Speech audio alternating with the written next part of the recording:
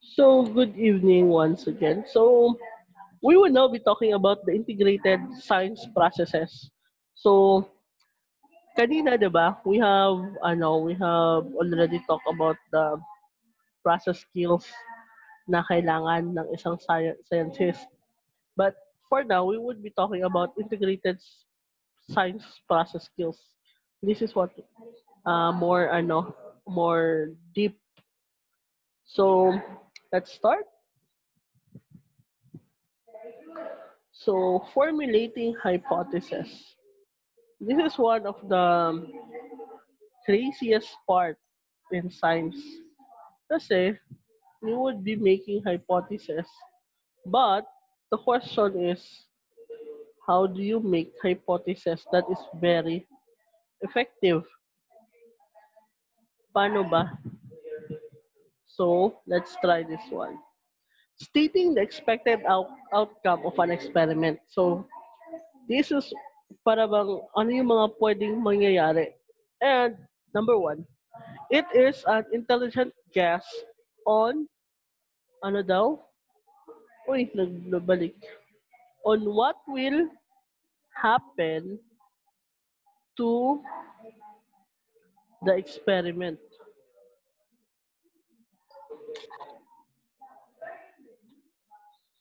So,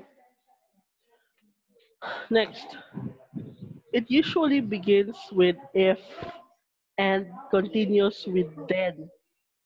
So, example natin number one, if if the soil is fertilized, then the mango tree will grow its leaves greener. Or, ano yung isa? If the water is salty, then the paper boat paper boat will not float. So, ito yung first activity nyo ha. Gagawa kayo ng isang hypothesis na pa-bright-bright. Pero dapat, hindi siya yung common. Pero dapat scientific siya ha. If I will put urine in the bougainvillea tree, in bu- tree ba, ba, tree ba ang bougainvillea? If I will put urine in the bougainvillea, then it will die. Or if I drink glutathione, I will be whiter. Oh, yung mga ganun ha. So, magko-comment kayo sa video nito, doon sa discussion. Ang number one nyo is, number one, formulating hypothesis. Then, susulat kayo ng dalawang hypothesis. Ha? Pero dapat, hindi siya, hindi na siya pa bright-bright. Dapat funny rin siya. Pag hindi funny yung hypothesis nyo, hindi ko siya tatanggapin. So, it, it should be what? Pa bright-bright and funny. Para lingaw. Ha? So, number one, formulating hypothesis. Number two, number two is what we call controlling varia- variables. Being, a, being a- able to identify variables that can affect an experimental outcomes, keeping those constant while manipulating only the independent variable. So para ito siyang research. Meron tayong independent variable, meron tayong ano, dependent variable. Yung independent variable, constant yan siya. Hindi mo yan siya pinapake alaman. Pero, yung dependent variable, yun siya yung pakikialaman nyo. Kuha? So, variables are conditioned factors or elements that are varied, maybe influence or affect experiments. So, the condition should be what? Controlled and tested. so, for example, number one. Number one is, ititest nyo yung organic matter ng soil. Paano ba ito siya nakakapekto sa pag sa pagtubo ng isang halaman? So, yung isa nyo is yung controlled, ang isa iba. So, this is what we call the manipulated or experimental variable. For example, meron kayong dalawang puno. Ano ba? Mangga. So, yung isa is manipulated yung sorry, manipulated yung variable niya. Yung isa is paaarawan mo excuse me, isa paaarawan mo tapos mayroon siyang amo everyday uh, nilalagyan mo ng ano na sa morning uh, 20, uh, 500 ml na water. Sa tanghali 500 ml na water. Sa hapon 500 uh, sa gabi 500 ml na water din.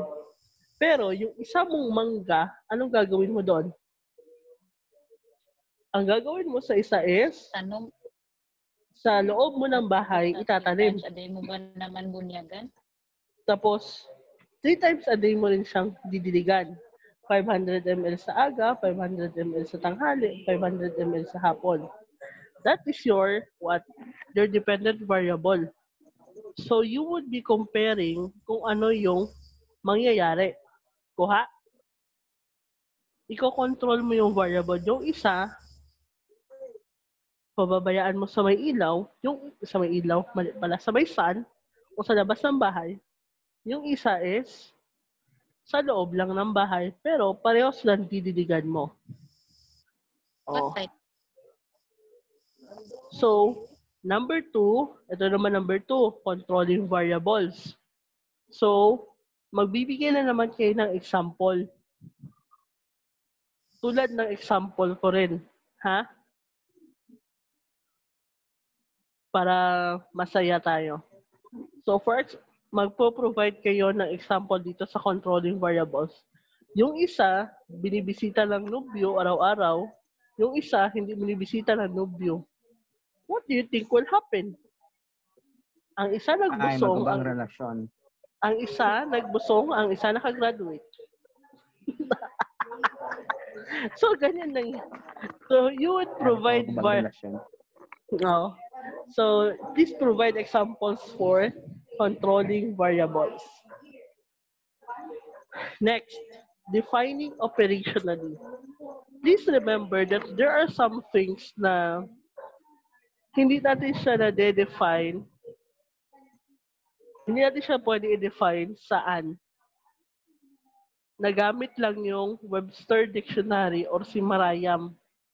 So making a definition that is specifically applicable to the activity or how shall it be done. In a description of what will happen will affect the operation. If not, the definition states is that it or the previous experiments. Ito, for example, halimbawa, ang pencil is, ano daw? Pencil is, ano, mag-experiment ako. Ang, ang pencil is gagaw, gagamitin kong, ano, pang steer. Halimbawa, may yung gatas at saka yung water, ihahalo ko. Pero, yung panghalo ko is water. I know, ang panghalo ko is yung pencil. Kuha niya? So, eh, paano ko siya i-define operationally sa experiment? Usually, if you would go to the dictionary, what is? Pencil is you use is uh, something that you could you will use to write, 'di ba? Yan siya sa dictionary. Pero doon sa experiment natin, please define pencil. Pencil is something you use to stir the mixture of water and milk. Kuha nyo? Operationally, how it is used in the experiment. So, kaya nyo ito? So, this would be, you would provide, exper for experiment number three, for the number three is defining operationally. So, you would provide the literal meaning. Then, the next one is you would provide the operational meaning. Oh. Madali ka naman to. Kaya nyo yan. Next, experimenting. So, experimenting, so having learned the basic skills such as, di ba, na-formulate na tayo ng hypothesis, we have controlling the variables, we have manipulated the... So, it is this part that you would make an experiment. So, hindi tayo gagawa ng experiment kasi hindi naman kayo pwede lumabas. So, basically, you would know what is experimenting, di ba? You would be testing anything. Marinig niyo ako? Yes, ma'am. Marinig niyo yung iba dito? Na teachers? Marami kasi kami dito. So, Kahit pa, exper- ko lang, ma'am. so okay, ma'am. experimenting is what you just apply what you have learned. So, hindi na natin ito gagawin. Walang magsasagot na experimenting. Kasi baka sabihin nyo, pag gagawin ko kayo ng video, may experiment kayo. Eh, baka pumutok yung bahay nyo. Baka kasalanan ko pa nasunog yung mga bahay nyo. So next, interpreting data. So, for example, you have already what? Made your experiment. So, a data is an information based on the result of the experiment. So as of now, based on the experiment of COVID-19, di ba? Anong ginawa ng Russia? Bumalik sila sa umpisa, di ba? Kasi nga, na-interpret nila yung data nila na ano, hindi pala effective yung vaccine na ginagawa nila. So, sino dito naka ano, nakabasa ng news about dun sa Italy na uh, oh, ito na lang. For example,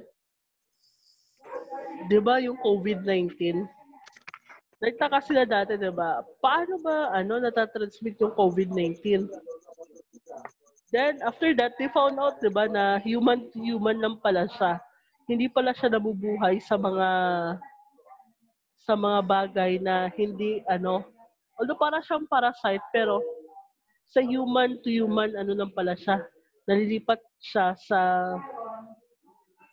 sa ano tao to tao so ano yung uh, ginawa nila due to the data they have received ano yung ginawa natin di ba nagkaroon tayo ng quarantine measures lahat ng tao pinag face mask lahat ng tao pinag-face shield. Kasi nga, after the experiment, they have found out that yun pala yung mga dapat gawin. Kasi they have already, they already have the data. Kung ano pa, meron ka ng mga uh, evidence, then after finding out those evidence, what would be your next, ano, ano ba yung next mo na gagawin? So this one is formulating models uh, with the use of different processes in science, a model can be used. Models can either be mental or physical model or processes. So, eto siya. Halimbawa, meron tayong model ng, ito is yung ano dito ha, ang example dito is the model of the water cycle. 'Di ba? After nila na found out paano ginagawa ang water cycle, ano na ginagawa natin? yun na talaga yung water cycle. Next, after nila mag-experiment, nakita nila yung, ano, wait, maglabas muna ako. So, nakita nila paano ginagawa yung, ano, yung, dali lang ha. Naglabas ako, kaya maingay kami masyado. Okay, dito na ako sa labas. So, nakiki na na ah, ano na nila na found out nila paano gin, paano ba nangyayari yung water cycle. So the next one, 'di ba? Everyone was curious paano ba ano, paano ba nangyayari yung ano, yung yung volcanic eruption. So for example, 'di ba? Dati hindi natin alam kung kailan nagkakaroon ng volcanic eruption. But anong ginawa ng mga tao? Nagkaroon sila ng mga ano, experiment, nagkaroon sila ng ng predictions. Tapos, sabi na, how could we predict a volcanic eruption? So, yung ginawa nila, nagkaroon, gumawa rin sila ng mga ano, Examine. gumawa Examine. sila ng mga devices. 'Di ba? Paano ma-predict paano ang next volcanic eruption?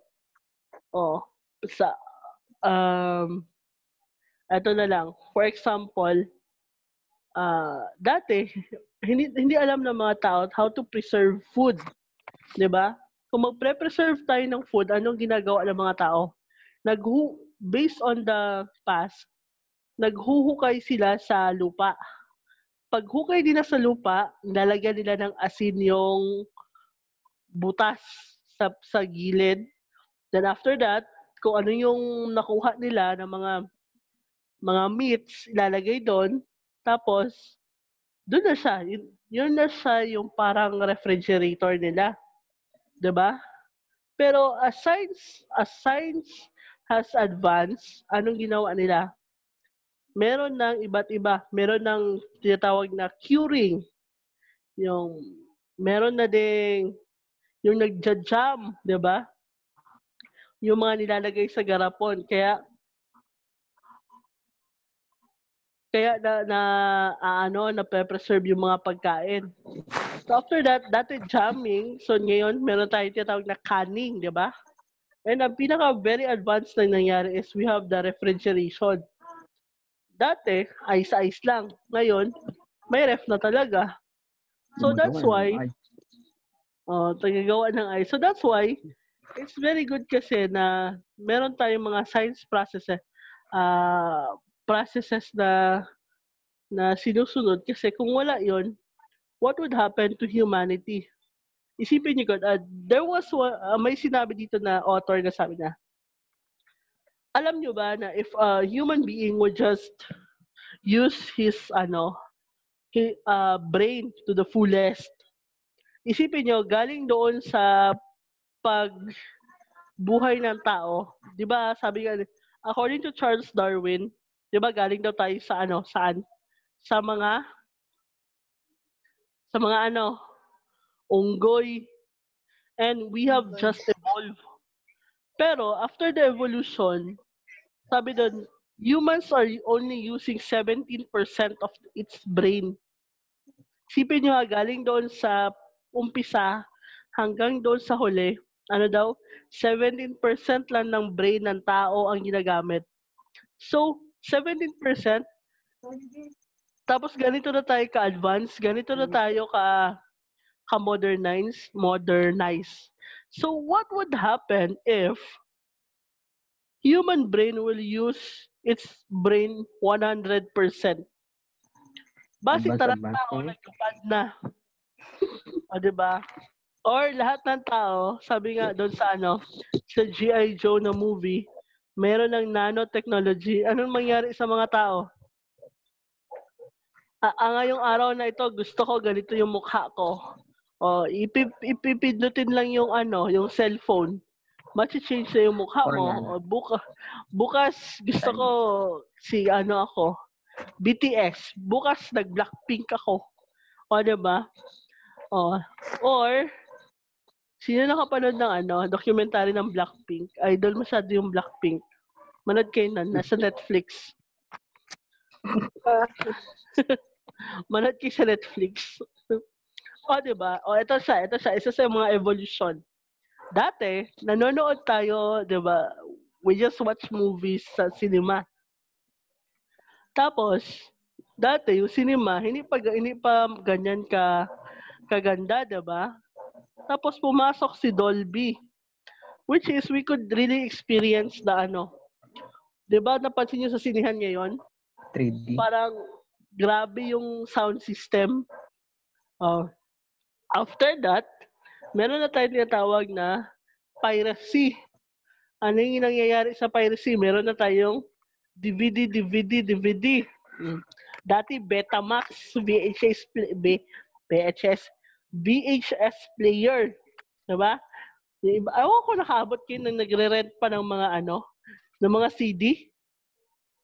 Nakarent ba kayo? Hopefully nakarent kayo. Naka, ako na-try ko yon from VHS, Betamax, to CD, to, to DVD. Tapos, dati, yung CD player, ah, ah, dati, yung CD player natin, ano lang, isang movie lang yung na, napapanood nyo, di ba?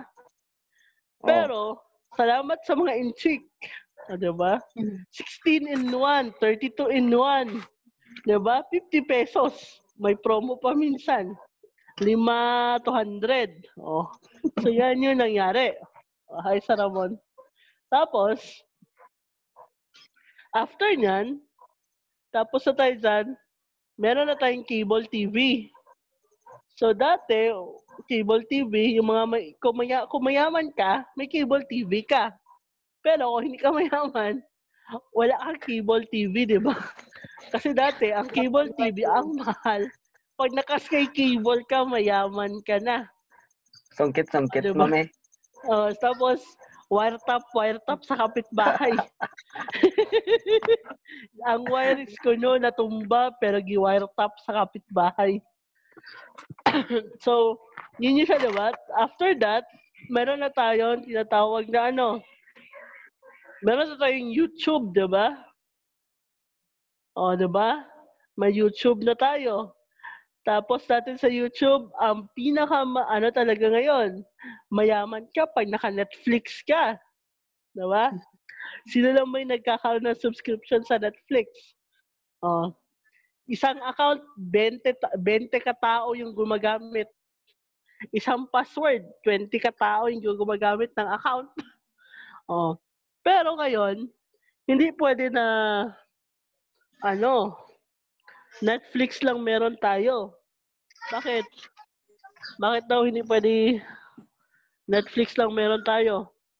Kasi ngayon, dapat meron ka na rin ano, Amazon Prime. Meron ka na rin Disney Channel. And that's all our ano, subscription. Lagi So that's na, uh, ay, daw mayaman si Mr. Danay naghahanap. so dati, so di ba dati is pag nasa YouTube ka, pag may YouTube ka, okay lang. Pero ngayon, ano na, meron ng ano, You- YouTube Premiere, yung binabayaran na YouTube, di ba? Premiere. Yung, oh, yung iba naman is ano, merong Patreon. Oh, yung binabayaran nila yung Oh. mga streamers. Oh, may Patreon na. Iba, meron ding mga fan club, ba? Nagsusupport. So, you see, because what if hindi nag-evolve, evolve, hindi nag-evolve yung technology, what if hindi nag-evolve yung science? Ako lang ha, kung dumating yung time na papipiliin ako, ah saan, saan ko gustong ano, ma, diba, mabuhay na period. Siguro ngayon, kasi yung transition ng change from from uh, very traditional to modern to very modern to the new normal na experience ko. Kung ako siguro kung ako siguro ang nasa time nung mga panahon na pupunta ka pa ng batis, kailangan, kailangan mo pa ng palo-palo para makapaglaba. Ay, Diyos ko. Good luck, diba? Matan sa Ngayon, baha, ma'am. Oh, tapos Ano yung daw hinaban? Nanod pa yun ka, tapos nakapalda ka pa. Diyos ko, Lord. Diba, dati nakapa, nakapalda ka, tapos napakay pako-pako sa imong bayo, tapos napakay panyo dali sa ulo. Diyos ko, Lord. Do you think makasurvive tayo dyan? Hindi man siguro. Or, gusto nyo to time na uso pa ang mga ano na pag ang lalaki may gusto sa isang babae, bunalan niya ng sa ulo kag dalon sa iyang cave. Diba? Tingala ko talang babae nagbuang. Kay try mo kaya bunalan sa ulo. Pero ngayon, 'di ba? Pwede na kung halimbawa may lalaki na gusto sa babae, pwede na i-ignore message, i-block sa FB. O, di ba? Dati, ah, di ba? Mas maganda ngayon kasi mag, mag, magbaba, magbaba, mang-block ka lang. Dati, bunalan ka. Try mo kayong bunalan sa ulo. Para to di ka mabuang. So that's uh, that's how beautiful science is. Kasi nga meron tayong ano perspective na makabago And creativity in creativity in science is what very much welcome.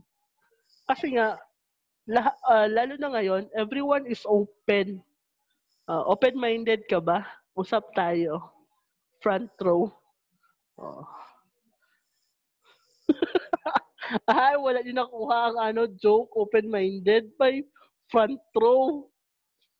Oh, so that's that's open-minded. So dati, 'di ba? Um for example, dati, yung glutathione, ang pwede lang kung mag, ma, mag-glutathione is yung mga mayayaman. Pero ngayon, kahit hindi mayaman, pwede mag-glutathione. Kasi glutathione is being mass-produced. ba? Pero, yun nga, sabi nga ni sabi nga doon sa picture ni Janine Berdin, hindi ka pangit. Mahirap lang tayo. Ma- mahirap lang tayo. Hindi tayo pangit. Mahirap lang tayo. So that's that's Janine Berdin.